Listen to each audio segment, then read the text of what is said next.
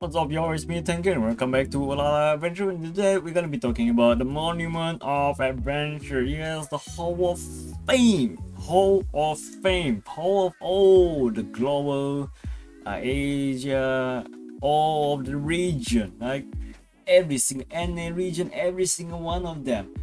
crossover, Europe, every one of them. And what's the most important part about that monument is to see the rankings of the highest player in your server and of course the cross server as well. Now of course we can't really see the cross server player but we do can we, what we can do is that we can see the, the server that you are in with the highest character power.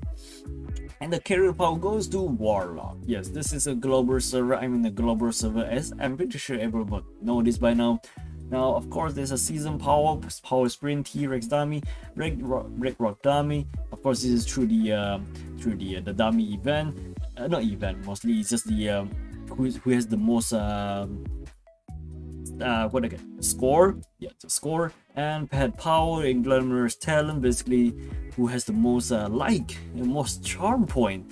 And it goes to Gumzy in the global server. Yep Gumzy got a shout out as well as all these guys uh, or, at least uh, all the pets powered by the, these players.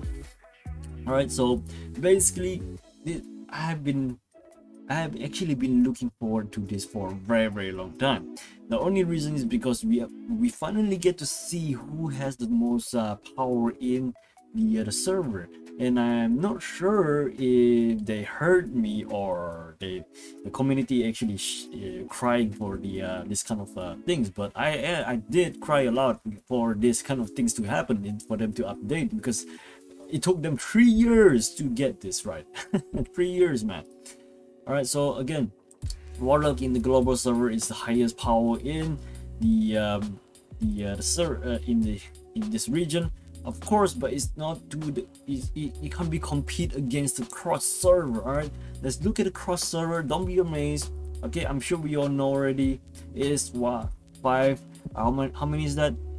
Uh, hundreds thousands 59 million. 59 million to the guy that i can't spell his name.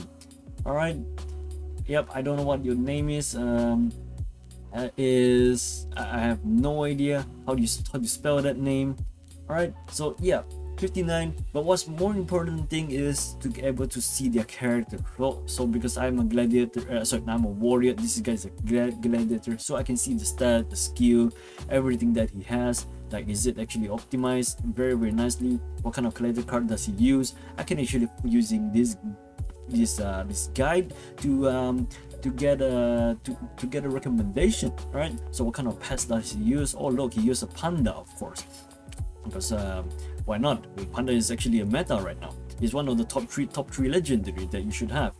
Again, all of these characters right here, oh, sorry, players, the players, they are actually players. Right, you can see what type, what, um, what kind of uh, class they are, and what kind of uh, what kind of uh, stats they actually use. So it's really, really nice to be honest.